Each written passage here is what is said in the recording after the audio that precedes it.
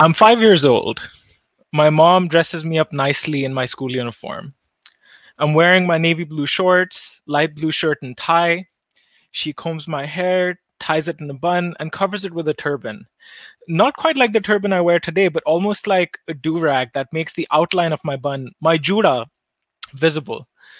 My grandfather drops me off at the bus stop, and uh, and right after he leaves, the boys at the stop surround me, hold my jura in their hands, and try and rip it apart like it's a dirty old rag. Is that a tomato on your head? Is that is that an egg? What if I smash it? Will it break? And this would happen day after day. And every day I would come back home and cry to my mom and ask her, why do I look different? Why can't I be normal like everyone else? And my mom would say, Beta, we are Sikh. The turban is a part of our identity. Our long, uncut hair is a part of our identity. It represents existing in the natural form that God created us in. It is a gift given to us by our gurus. And who are you to try and blend in when you were born to stand out? There were two more things my mom told me that day that gave me strength and comfort in who I was. One, if you're better at something than everyone else, everyone will want to learn from you and not hurt you. And two, always fight for your right, but know that you can't change everyone. So, for those who are willing to learn, educate them about your faith with love and compassion. So that's what I did. I started standing up for myself when I needed and started studying as hard as I could. To my surprise, the same people who used to pull my hair and turban at the bus stop would now come to me asking for help with their homework.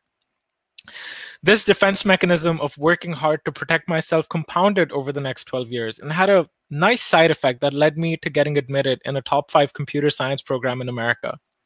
And I was as American as I could be while still being Indian.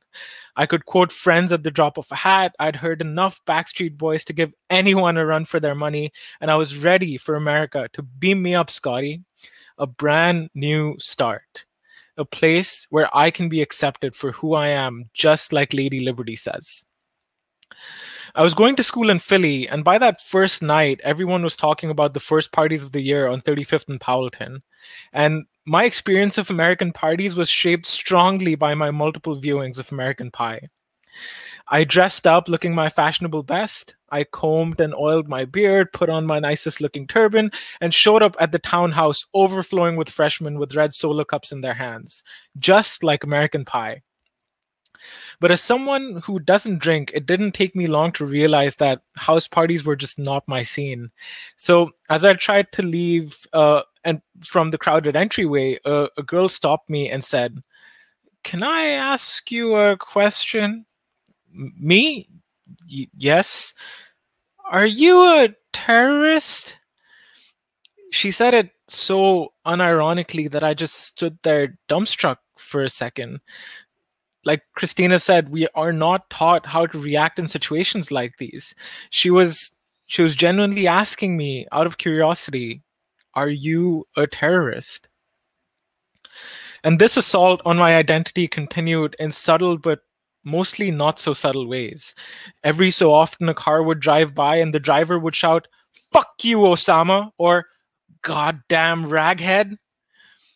One time, I was stopped at the airport because TSA thought that the jar of pickles I was carrying was an improvised explosive device. And then there was this time when I was waiting for the next bus when a red Jeep slows down near me, the back window rolls down, and the person inside throws a crumpled cigarette box at me and drives away. I stood there shaking because it felt like I couldn't be safe anywhere. A year later, on August 5th, 2012, the Sikh community of Oak Creek, Wisconsin had gathered together at the Gurdwara for their weekly prayers, just like Sunday church. The prayer was to be followed by langar, the community kitchen where everyone, regardless of religion, gender, sexual orientation, is welcome to a free meal.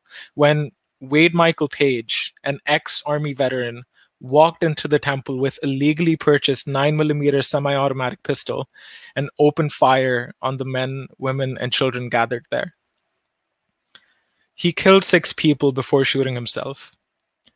it was later revealed that he was a white supremacist and often talked about an impending racial holy war. The media insisted that his motives remained unclear and that the mystery had died with him, but ask any Sikh or Muslim and the motive seems obvious. So maybe it is true. We can't be safe anywhere. The question then is if I feel so unsafe in America, what has kept me here for nine years? Why continue to stay? It's because despite its imperfections, America, like all of us, is a work in progress. It is also the kind of country that gives people like us opportunity. You know how they say you cannot be what you cannot see? I don't have to look too much further than my own family to see the results of the opportunity America provides in the form of my two uncles who came here before me, built successful companies, and live beautiful lives with their families.